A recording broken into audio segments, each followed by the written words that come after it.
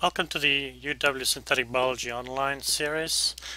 And this this video is the second of two on bistability.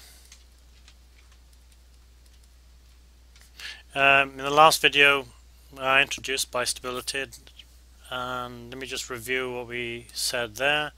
So I had a gene network producing a transcription factor P, degrading P like so. The rate of production of P was V1, rate of, rate of degradation of P was some first order rate law like so. And I also had um, negative feedback. Let's just draw that. Something like this. Oops. Something like this. And P it was P was suggested that P bound to some operator site upstream of the promoter and that activated the production of P. So we had this positive feedback here. And this system showed bistability. So what I want to do in this video is do a simulation of this system to show it actually was bistable. Uh, so we'll need, in order to do a simulation, we'll need to set up some some rate constants and some uh, rate laws. This one we have already. This one needs a little bit of explanation. So let me just show you what that looks like. So let me just draw a graph. So if I plot V1 against P, I get it was something that looked like that. It was a sigmoid curve, started at some basal rate. Let's call that B rose slowly, then then more quickly, and then reach saturation. So what rate rate law might I use for that? Well, I could use a simple Hill equation. So it would look something like some V max, which is the saturation point, times P to the N, that's the Hill coefficient. Okay, divided by a constant plus again P to the N and that'll give me this shape curve. The only, the only other thing I have to add on is the basal rate. That gives me that displacement here. Okay, so using these two rate laws, I'm now going to build a computer model of this system. So let's go and look at the simulation application we're going to use. This is Jarnac. This is available uh, for download on our website, sysbio.org. Uh, it's a scripting language and is specifically designed for modeling reaction networks such as gene networks. Uh, there are videos online that show you how to use this tool, but let me show you, let me give you some hints here now. This section here defines the network itself. So if you look carefully, you'll see that describes the degradation of transcription factor P1 at a rate K1 times P1. This describes the synthesis of P, of transcription factor P1 at a rate given by that. You can see that that's the basal rate B, and that's the Hill equation there, with the Hill coefficients there and there. These terms here are just the sources and sinks. In this system, we always have to have a source and sink. These are not important here, but I still have to put them there. The sink, you can imagine, is the, is the degradation pool of amino acids. The source here is the gene itself. In both cases, though, I put a dollar in front, which means these are fixed, so they don't enter um, into the dynamics of the model. Here, I initialize various values, for example, the Hill coefficient to 4. Here, I'm actually carrying out the simulation. This means from time 0 to time 4, generate 100 points, put those results into a matrix M. What this will do, it'll plot time on the first column and then any whatever species we have in the model in subsequent columns. We only have one species, P1 here, so there will only be two columns, time and P1. Uh, I want to set up the axes. Uh, let's set this up to something let me increase that so the uh, y-axis is slightly higher. Uh, and then I'm going to plot m. So there's a command called graph. It takes as argument a matrix such as m.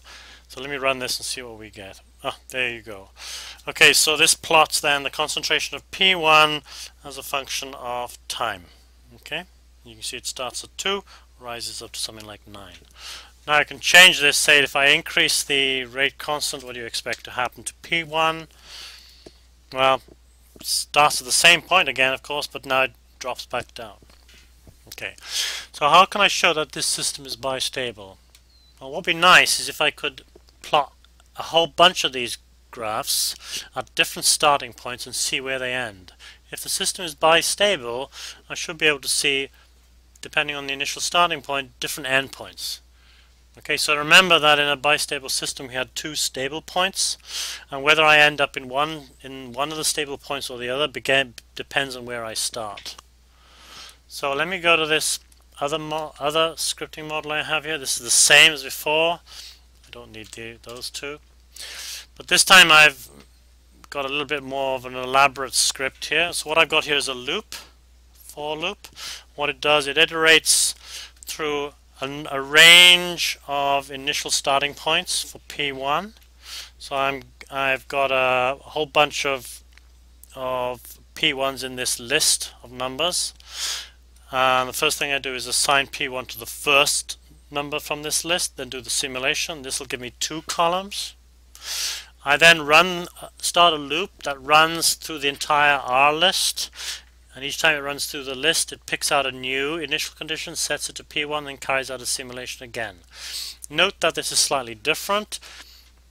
Here I'm copying the results into M, but here I'm copying the results into MM. And also I'm specifying that I only want one column, and that's P1. So this just has one column which represents the concentration of P1, but it's at exactly the same, same time frame, 0 to 4, 0 to 4 with 100 points.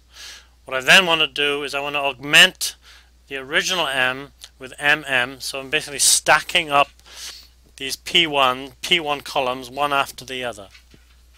I then switch off the display legend to make it look more more readable, and then I plot M. All right, so let me just let me just um, comment these out for a second, and I want to because I want to show you. I want to make that run. So down here in the console, you can see it says OK, and I want to show I want to just show you what M uh, what M looks like. So M is basically a hundred rows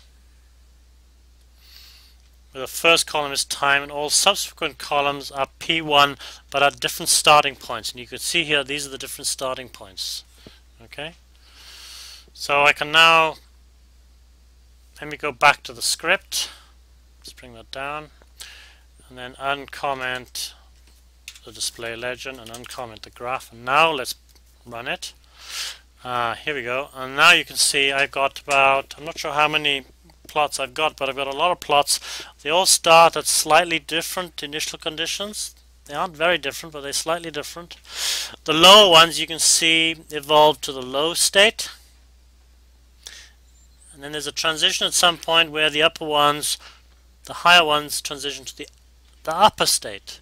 So we have two states here, a low state and an upper state. If you see here, near the middle I have this point where it can't quite decide or it takes a while to decide whether to go to the low state or the high state.